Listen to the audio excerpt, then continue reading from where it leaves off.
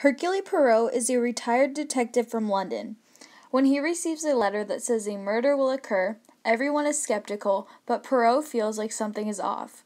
When the murder that is directly mentioned in the letter actually occurs, everyone is wondering if the murder could be connected. As more letters keep coming and more people keep dying, Poirot and his partner Hastings are on the hunt for an elusive murderer that is systematically killing people alphabetically.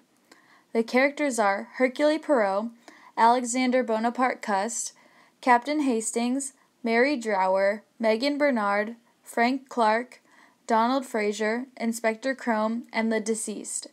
The conflict of the story is that people are being murdered, and the murderer is able to keep his tracks covered so that they have no idea who their murderer is. The resolution is that Poirot questioned Cust and realized that there was no way that he could be ABC because he is epileptic and doesn't know the facts of the murders. He was able to connect the dots that Clark wanted his brother to be dead so that he would be able to take his fortune. So he was ABC. The setting started in June of 1935 but continued on until about September.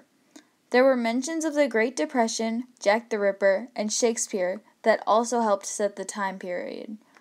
The story takes place in different parts of England, such as London, Andover, Bexhill, Churston, and Doncaster.